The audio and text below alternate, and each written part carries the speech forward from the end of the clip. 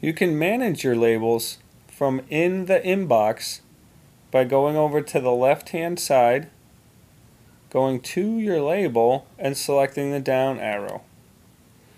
Here you can choose different colors, show, show if unread or hide in the label list, in the message list, show or hide, or you can edit the label straight from here and possibly give it a new name.